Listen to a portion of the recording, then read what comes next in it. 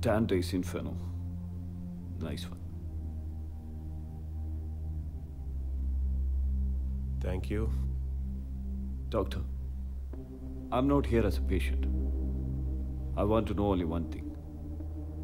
Where's your big brother? I mean, your elder brother. Robert Morton. I think you're in the wrong place. I haven't heard from him for years.